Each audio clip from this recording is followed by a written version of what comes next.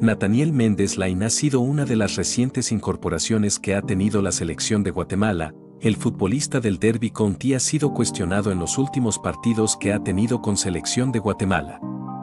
¿Pero realmente Méndez Lain marca la diferencia? Quédate en el video de hoy, estaremos hablando del tema. Nathaniel es uno de los nuevos legionarios que ha tenido la selección de Guatemala en los últimos meses, jugador que milita actualmente en el Derby County de la tercera división de Inglaterra. Fue una de las sorpresas en la lista de convocados de Luis Fernando Tena para la Copa Oro del 2023.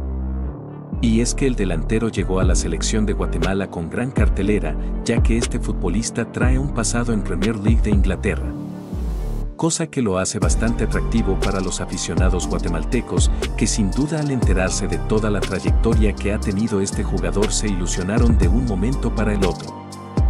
Recordemos que la selección de Guatemala ha tenido muy pocos futbolistas con un pasado similar al de Méndez Line, y es que este futbolista se ha formado totalmente en el fútbol europeo. Formación que es bastante distinta a la cual son sometidos los futbolistas que se forman en Guatemala. Recordemos también que la Premier League es una de las ligas más importantes de Europa si no es que es la mejor. Cuando los aficionados guatemaltecos supieron que Méndez Line podía representar a la selección de Guatemala, pusieron todas sus expectativas en este futbolista. Nathaniel ya debutó con la selección de Guatemala en Copa Oro y no lo hizo de mala manera más sin embargo hubieron detalles que la afición chepine le echó en cara al jugador. Y es que Nathaniel le ayudó a la selección guatemalteca en Copa Oro con varias asistencias, este futbolista intentó despegar el fútbol que está acostumbrado a jugar en Europa.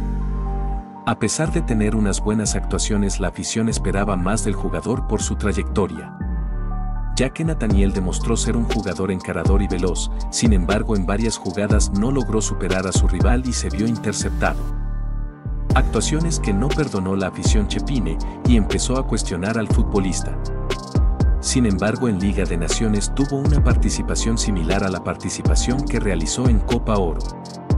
No fue un jugador tan determinante, pero sí hizo buenos partidos. Contra El Salvador podría catalogar yo como el mejor partido que jugó en Liga de Naciones.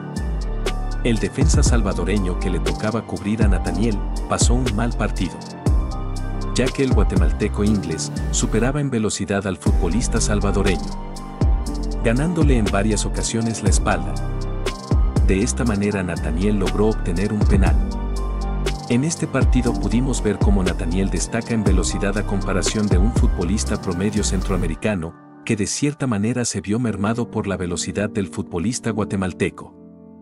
Adicional a eso la afición chepine ha criticado al jugador, ya que han existido jugadas puntuales en las cuales Nathaniel ha realizado errores que han costado goles o simplemente la pérdida del balón. Dejando de esto a un lado, quiero decirles mi opinión del jugador. Para mí Nathaniel Méndez Line es un gran refuerzo para la selección de Guatemala. No podemos negar que este futbolista viene con una formación totalmente distinta a la que los guatemaltecos reciben en el país y eso se nota en calidad táctica y velocidad. Pero tenemos que decir también que el fútbol no es solo de un futbolista. Es un juego colectivo en el cual son 11 jugadores por cada equipo, y si cierta parte del equipo no está marchando bien puede opacar el buen trabajo de los demás. Y con esto no quiero decir que actualmente los convocados en selección de Guatemala estén opacando el trabajo en Nathaniel.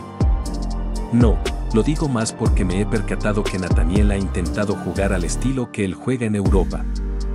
Pero al futbolista Chapín le cuesta jugar de esta manera.